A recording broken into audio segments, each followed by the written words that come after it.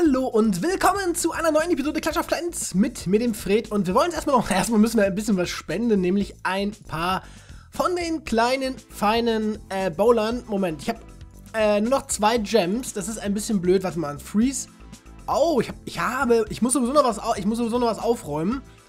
Äh, äh, äh, äh wir nehmen einen davon weg kriegen dafür jetzt den Sprungzauber. Jetzt werden wir den Freeze spenden. So. Und wir müssen jetzt gleich auch noch in der CWL angreifen. Und ich habe ich hab, ich hab, ich hab ja gefragt im Community-Tab, ähm, ihr, könnt da, ihr könnt das ja gerne mal nachlesen, ob ich mal wieder mehr Update-Folgen aufgreifen soll, weil das im Endeffekt, ja, im, im Endeffekt macht es am meisten Spaß. Muss ich ganz ehrlich auch sagen, es macht mir auch am meisten Spaß, über Update-Sachen zu reden. Und, ähm, deswegen müssen wir mal gucken dass wir da auf jeden Fall mal wieder mehr, ähm, ja, mehr über Updates sprechen und so weiter und so fort. Update-Gerüchte, was schon feststeht und so weiter. Das werden wir gleich tun. Ich werde jetzt allerdings erstmal in der CWL angreifen. Wir greifen unseren Gegenüber an, nämlich die Nummer 6. Es ist auch ein Rathaus 11. Ich habe ansonsten alle Truppen fertig.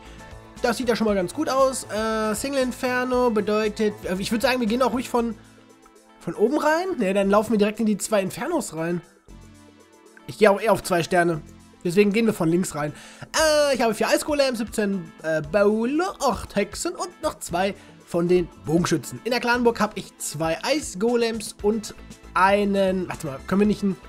Können wir nicht einen Machttrank benutzen? Was passiert, wenn ich jetzt einen Machttrank benutze? Ähm, Armeeschub. Ich glaube, das hat gar nicht so viel gebracht. Aber das bringt was. Ich habe eh noch einen Heldentrank. Äh, einige Heldentränke habe ich noch. Beim äh, Warden bringt das natürlich nichts. Aber ansonsten, so ist das die Nummer 6. Nicht, dass ich mich jetzt vertue. So. Rein, rein, rein, rein, rein, rein, rein, rein, rein. Eins, zwei, drei, vier. Die Hexen mal hinterhergesetzt. Ich habe die Hexen nicht gescheit verteilt, aber ist egal. So, König, Königin, Warden. Zack, du hinterher. Ich freeze schon mal einmal zur Sicherheit. Ja, ja, lauft dahin, lauft dahin, lauft dahin, lauft dahin. Genau, lauft alle da vorne hin. Lauft alle da vorne hin. Lauft alle da vorne hin. Lauft alle da vorne hin. Oh, er hat was in der Clanburg. Er hat was. Natürlich hat er was in der Clanburg. Das wäre auch. Wäre auch unsinnig gewesen, hätte er nichts in der Clanburg gehabt. Natürlich hat er was in der Clanburg. Was rede ich? Aber wir werden das locker schaffen. Weil wir jetzt das Rathaus schon mal haben. Die Adler, der fahren wir jetzt nämlich gleich auch. Komm, komm, komm, komm, komm, komm, komm, komm, komm, komm, komm, komm, komm, komm, komm, komm, komm, komm. Oh, die haben sogar schon die gegnerische Clanburg zerstört. So, kann ich da nochmal eben frieseln. Okay, wir haben 50%. Alles okay. Wir haben den zweiten Stern geholt. Es ist alles okay. Es ist alles okay. Ja, gleich reden wir ein bisschen über das Update. Oder beziehungsweise, es sind ja, eigentlich sind es ja mehrere, über die wir reden. Wir reden nicht nur über das Update, was im Oktober kommt. Nein, wir reden auch über das Update Ende des Jahres. Wir reden über das Update, äh, die Updates im nächsten Jahr, was uns noch so erwarten könnte. Äh, da gibt es auf jeden Fall noch relativ viel zu besprechen, da freue ich mich schon drauf, weil ja aktuell ein bisschen tote Hose ist und wir nicht so ganz so viele neue Sachen haben im Spiel. Komm, komm, mach eben schnell. Yes, haben wir noch geschafft. Wir haben noch ganz schnell eben den X-Bogen zerstört. Das ist natürlich sehr gut. So, oben ist die Kanone weg. Jetzt ist gleich hoffentlich der Bombenturm noch weg. Und der Tesla auch, hoffentlich. Die Königin lebt immer noch, das ist natürlich super. Auch wenn sie jetzt gleich draufgehen wird. Aber sie hat noch ein bisschen mitgeholfen. Für 100? Für 100 Prozent? Das wäre natürlich geil. 100 Prozent würde ich extrem feiern, aber das wird, äh, das wird auch knapp werden. Wir zoomen mal ein bisschen rein. Guck mal. Der König ist weg. Oh, er hat doch kaum noch, er hat doch echt kaum noch Sachen da. Er hat kaum noch Verteidigung übrig. Aber es wird nicht reichen, glaube ich. Oh, ist das ärgerlich. Ist das ärgerlich. Weil die Hexen jetzt gleich down sind wahrscheinlich. Wie viel haben wir denn noch? Drei Hexen noch. Drei Hexen gegen jetzt einen Tesla und gegen einen Bogenturm. Es wird knapp. Es wird echt knapp werden. Wenn sie jetzt außen rumlaufen, haben wir eine Chance. Lauft außen rum. Nein, lauft doch außen rum. Lauft doch außen rum. Lauft doch außen rum. Nicht auf die Mauer. Nicht auf die Mauer. Ah, sie gehen. Hä, wo ist noch was übrig? Wieso gehen sie denn auf die Mauer drauf? Es ist total unsinnig. Komm, beschwert bitte was. Beschwert doch bitte was. Das reicht aber, glaube ich. Es wird reichen. Ganz knapp. Oh Gott, es hat gereicht. Oh, es hat ganz knapp gereicht. Ein Glück. Das, das, das, das, das war knapp. Das war wirklich knapp. Jetzt haben wir wieder, äh, okay, jetzt habe ich noch drei Bowler, die brauche ich natürlich nicht. So, zwei davon. Dann nehmen wir ruhig mal wieder ein paar Elektrodrachen mit. Wobei, nee, ich habe gesagt, wir brauchen eher dunkles, ne?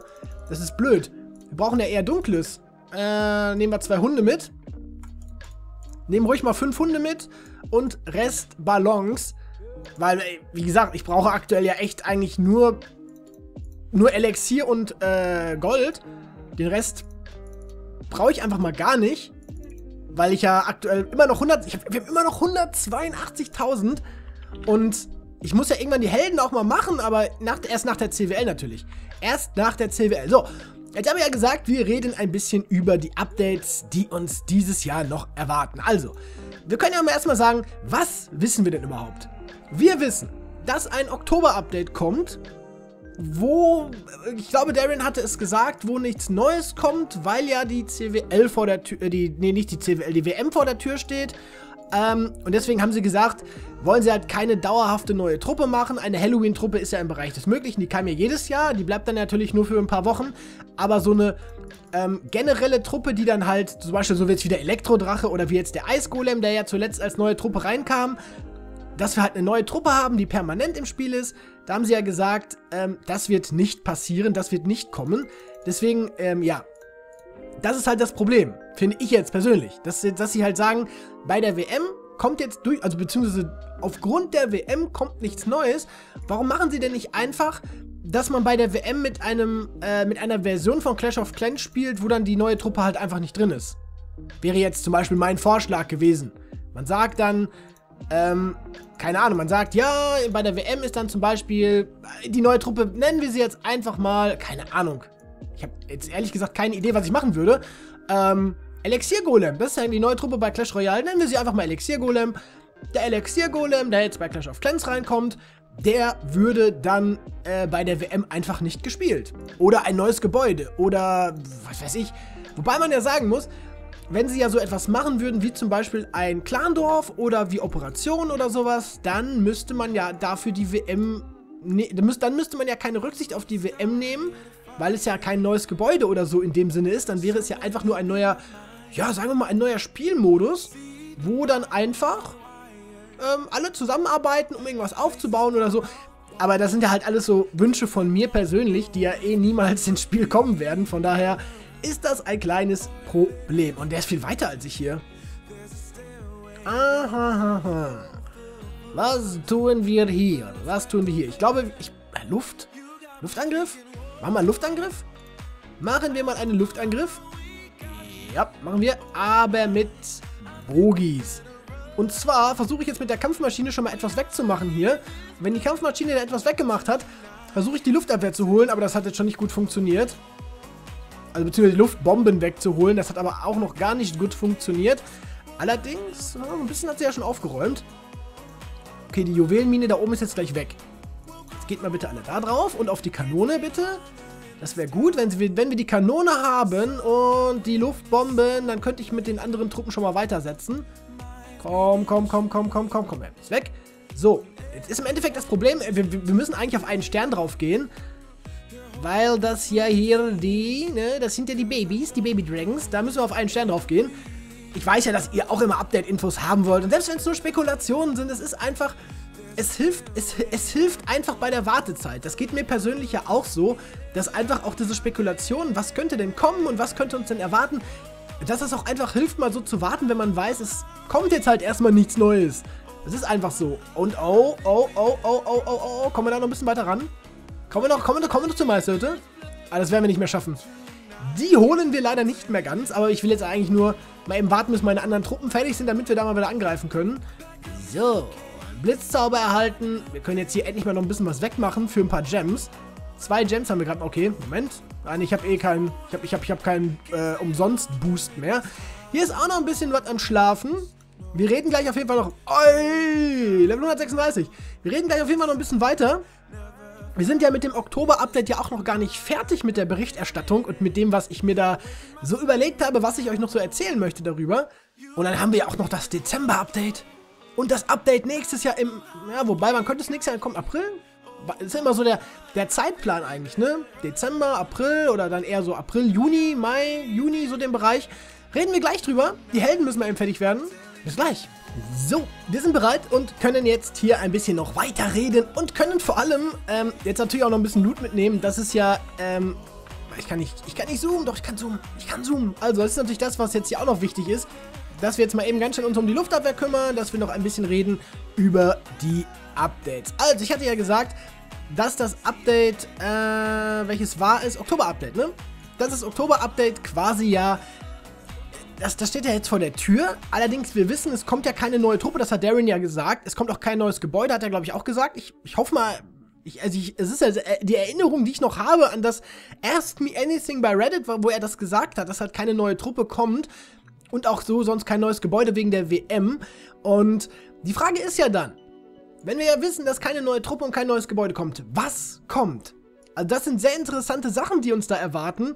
Und ihr könnt auch gerne, gerne, gerne diskutieren in den Kommentaren, was ihr euch denn so erhofft. Also vielleicht irgendwelche Sachen im Spiel äh, unter dem Motto Quality of Life Changes, die uns das Leben halt einfacher machen im Spiel, die ja zwischendurch, ja, sagen wir mal ehrlich, auch ganz sinnvoll sind. Also man braucht ja im Endeffekt nicht, man braucht ja jetzt nicht nur Updates. Es ist ja auch mal ganz okay, wenn man mal so ein paar ähm, andere Sachen hat, so ein paar Quality of Life Changes, ähm, die dann halt schon mal vorbereiten auf das nächste Update zum Beispiel. So, jetzt haben wir da mal eben Freezeln.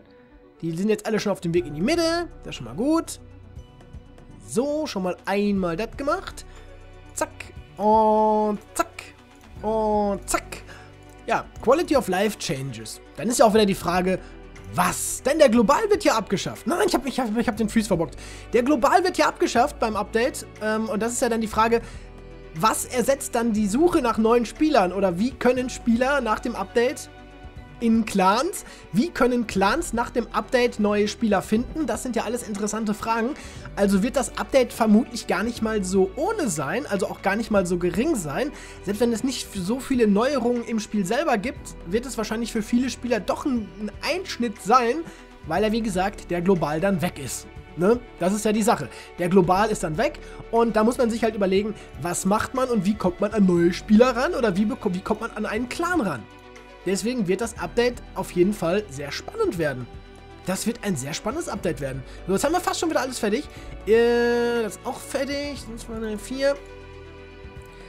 Warte mal, wir nehmen drei mit, nehmen 20 Stück mit und nehmen den Rest einfach mal Ballons mit. Ja, das passt. So, 2, 4, 5. Zack, zack, zack. Das passt auch soweit.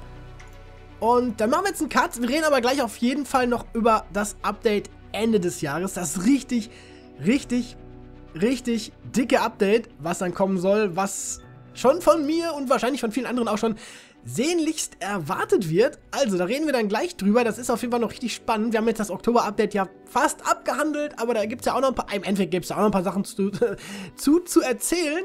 Und dann werden wir sehen, Ende des Jahres, was wird uns denn da überhaupt erwarten? Und dann bis gleich. Okay, wir haben noch mal einen, eine gerushte Base und das ist eigentlich ganz gut. Da muss ich mich nicht besonders anstrengen. Und wir können noch ein bisschen über das Update reden. Warte, was habe ich in der Klammerburg? In der Klammerburg habe ich noch Ballons. Wir setzen schon mal eine Reihe hin. Setzen jetzt 1, 2, 3, 4, 5 Stück. Setzen den Rest hinterher. Müssen jetzt im Endeffekt erstmal nur aufpassen, dass wir 1, 2, 3, 4 Stück schon mal gesetzt bekommen von unseren Eilzaubern. Ob den Warden darf ich natürlich auch nicht vergessen. Äh, Single Inferno brauche ich nicht zu freezeln. Wir haben aber nochmal da nochmal einen und da nochmal einen und können jetzt mal ein bisschen reden. Also, ich hatte ja gesagt, äh, Ende des Jahres soll ja wahrscheinlich nochmal ein riesiges, ein großes Update kommen. Und die Frage ist ja jetzt, was wird uns Ende des Jahres erwarten? Und viele Leute sagen, es wird Rathaus 13. Die Wahrscheinlichkeit für Rathaus 13 ist extrem hoch. Und warum ist die Wahrscheinlichkeit für Rathaus 13 extrem hoch? Weil ähm, sie gesagt haben, beziehungsweise Darren hatte im ersten Me Anything gesagt, im letzten bei Reddit, dass sie versuchen, immer 1,5 Jahre zwischen, Rathaus, äh, zwischen den Rathausstufen ungefähr einzuhalten als groben Zeitplan. Und Dezember 2019 wäre genau äh, 18 Monate nach Rathaus 12. Rathaus 12 kam ja im Juni 2018 raus und es wären dann genau 18 Monate.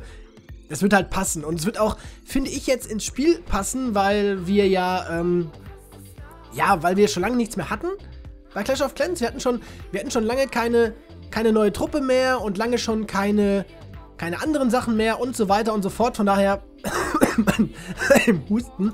Ähm, das wird auf jeden Fall, das wird auf jeden Fall funktionieren. Das würde, das würde auf jeden Fall funktionieren. Dass wir, also vor allem neuer Held. Neuer Held mal wieder mit der neuen Rathausstufe. Bei der letzten neuen Rathausstufe bei Rathaus 12 hatten wir keinen neuen Held. Das fand ich ein bisschen schade. Das wäre ja geil, wenn sie dann sagen würden, bei Rathaus 13 machen wir einen neuen Held.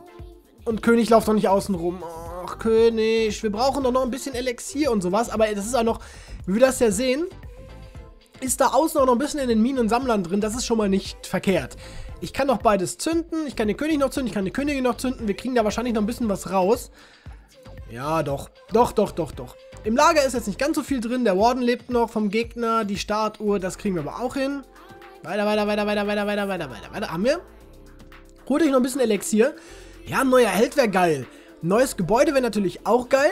Die andere Frage bleibt dann noch, was wird dann die Verteidigung sein von Rathaus 13? Ich weiß halt nicht, ob sie den Giga-Tesla weiterziehen oder ob sie dann einfach, also ob sie es einfach sagen, wir machen Giga-Tesla Level 6 oder generell den Tesla obendrauf Level 6 und wir machen dann Rathaus 13 in einer anderen Farbe oder sonstige Geschichten. Oder wie bei meinem Rathaus 13 kommt vielleicht ein Inferno-Turm obendrauf oder sowas. Das weiß ich halt alles nicht. Wäre halt mal wieder Zeit für ein neues ähm, Ask Me Anything von Darian, finde ich, wo er mal wieder so ein paar Sachen rauskloppt. Weil doch aktuell so ein paar Infos fehlen und ich werde den Zauber nicht mehr setzen. Mit etwas Glück kriegen wir die Goldmine noch, das wird mir dann schon reichen. Ja, okay, wir geben auf. Wir geben auf. War doch, war doch ganz okay insgesamt vom Loot. Und ja, könnt ihr mal gerne mitdiskutieren in den Kommentaren, was ihr denn so äh, denkt, was denn da sinnvoll wäre und was wäre realistisch, was, auf was könnte man warten, was könnte man, was, was kann man erwarten vor allem. Das sind echt Fragen aktuell.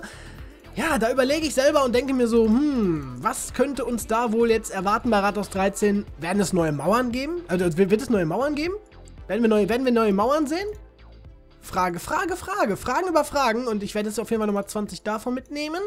Ein paar Ballons. Das passt. Das passt auch. Und dann sehen wir uns in einer neuen Episode wieder, wo wir noch auf jeden Fall, also über das ähm, Dezember-Update müssen wir auf jeden Fall noch ein bisschen diskutieren. Da gibt es ja echt noch einige offene Fragen. Aber im Endeffekt über das Oktober-Update, da gibt es ja auch noch einige offene Fragen. Also, das ist, das ist Fragen über Fragen aktuell. Also, ich danke euch fürs Zuschauen. Wir sehen uns später wieder. Guckt in die Beschreibung abonniert den Kanal und dann bis später. Macht's gut. Tschüss.